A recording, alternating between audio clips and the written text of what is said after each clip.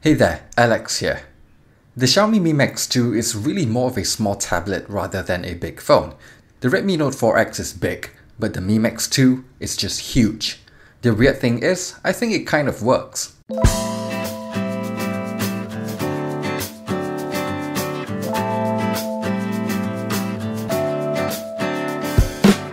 I don't like big phones, but I get why people like them.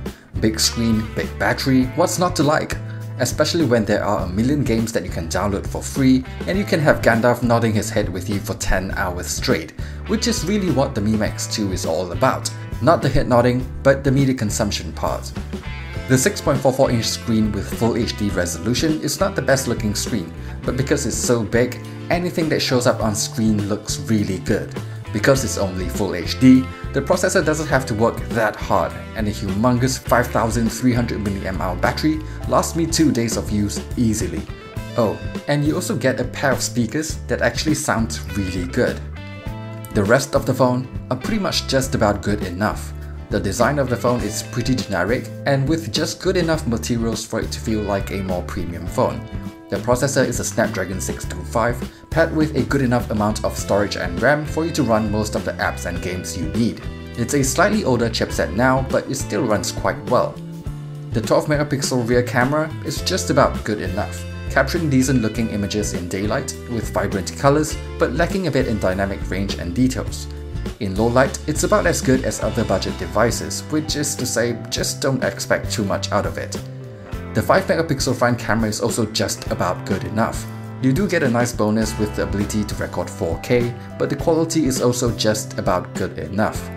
Then you also get a few nice little bonuses like a good enough fingerprint sensor, a USB Type-C port with Quick Charge 3.0, and also Android 7.1.1 Nougat out of the box. Which brings me to the not so great part about the phone, the software. It's running MIUI 8 and it's a really heavy skin on top of Android, from the design to the way things work, almost everything has been customized. When I'm using it, I can definitely feel the software weighing the processor down a little bit. I'm also not a huge fan of how much permissions some of the default apps need, and how I can't disable some of them. It's all just a little bit too much for me. It's also pretty strange how the multi-window mode and the fast app switching has been disabled on this phone. But something I can't deny is how feature-rich the software is, which is something that some people may like. It comes with everything but the kitchen sink. A few of them that I found really useful are the ability to duplicate apps, the ability to lock apps, double tap to wake the phone, swiping down anywhere on the home screen to get to notifications, adding useful system shortcuts to the home screen, and customizing the navigation buttons. It even has a remote app for you to use the IR Blaster with. So if you're someone who finds all these features useful, you might even like the software. I know maybe saying that most of the phone is just good enough isn't the most positive thing, but it is, especially when you weigh it against the price of the phone.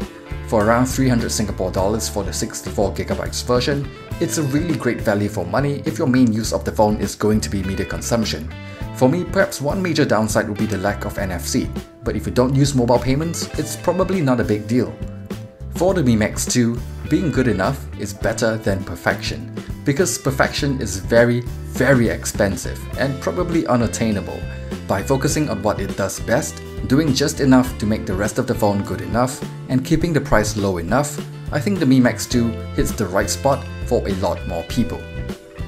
Thanks for watching my review of the Mi Max 2. Do give me a thumbs up and subscribe to the channel if you've enjoyed my content. Thanks and see you guys on the next one.